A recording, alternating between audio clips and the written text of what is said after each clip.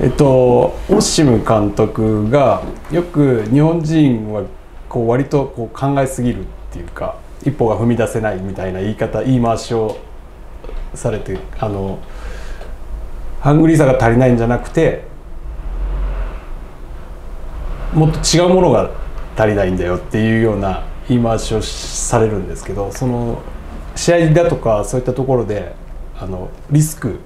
試合に対するリスクだったりチャレンジっていう部分はどういうような指示を出されたりどういうミーティングをされたり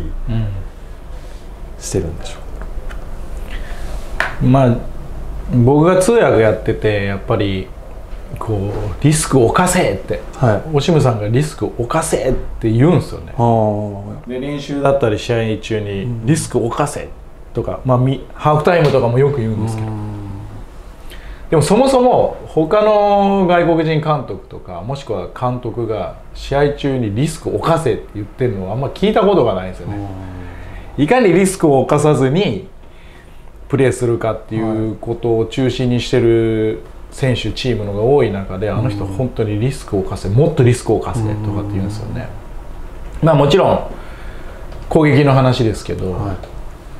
でやっぱりリスクを犯すって何かって言ったらやっぱり攻撃の人数をかけるとか、うん、うん、まあ相手にとって嫌な場所に入っていくとかもしくは1対1で仕掛けるとか、まあ、具体的に言うとそういうことが多いんですよね。でもただリスク犯したらあの、ね、ボール失ってカウンターを受けて、で失点をしたり負けるじゃないですか。だから僕の中で理解してるのはオシムさんがリスクを犯せって言った時には絶対そのリスクを犯せのメッセージの前にカッコ付けで賢くが入ってるはずなんですよ、はい、賢くリスクを犯せっていうことなんですよね、うん、つまりじゃあその賢くって何かって言ったらリスクを犯す場所だとか、えー、リスクの犯し方ですよね、うん、やっぱりそこで取られても取り返せるとかそういうのも含めてそこで取られても失点しないとか、でもちゃんとそこの僕らやってる側っていうのはここの括弧の賢くっていうことを理解してるからリスクを犯せの意味が分かるしリスクを犯せるんですよね。なるほど、はい。まあ、そういう意味合いですかね、はい。はい、そのそういうのって選手たちの理解度っていうかまあ当然プロのサッカー選手なんですごい高いとは思うんですけどどれどんな感じなんですか？伝わり度っていうでもやっぱりそれこそがオシムさんっていうのは本当にもう練習中心で組み立てる人なんでやっぱ本当練習中に何がいいプレー、はい、何がやっちゃいけないプレー、何が褒められるプレーってなるんでそこで選手はこう理解していくというか、はい、本当よくまあよく言う頭で理解する、はい、プラスなんか体で理解するみたいなね、そしてそれが当たり前になっていくというか。まあ例えばボランチの選手がね例えば伝わりますかね？あはい。初登場。初登場。初登場ですね。相手のフォーバックまあボランチ。ででこの選手の話がしたいんですけど例えば、はい、マルチームはこっちに攻めてると、ね、でバツのディフェンダーに対してこの選手がボールを持ってる時にここのボランチがこのボランチがこのランニングするとするじゃないですか、はい、ね、でここにまあボールが出るかもしれないし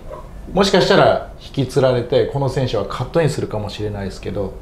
このボランチがまだここのボールがここに出るかどうかわからないのにもうこのランニングを始めることが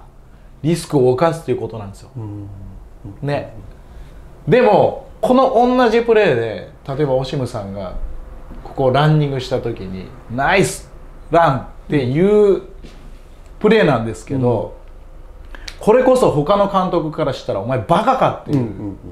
まだここがどうなるかもわからないのにもうボランチの選手が真ん中開けてランニングしちゃうわけだから、はい、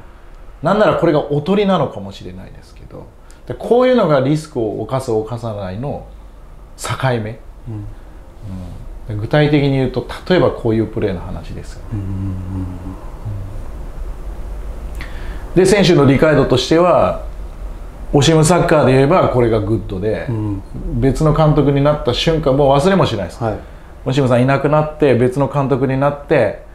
オシムさんの時に一緒に鍛錬した選手がこのプレーをしたらむっちゃ怒られたっていう。ああなるほど。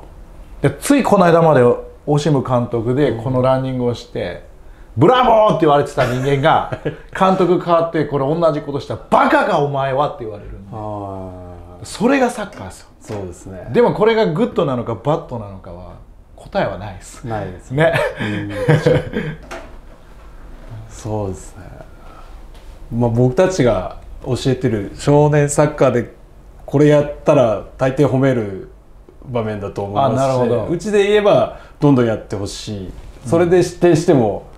うん、まあしゃあないなっていう感じで僕は考えますけど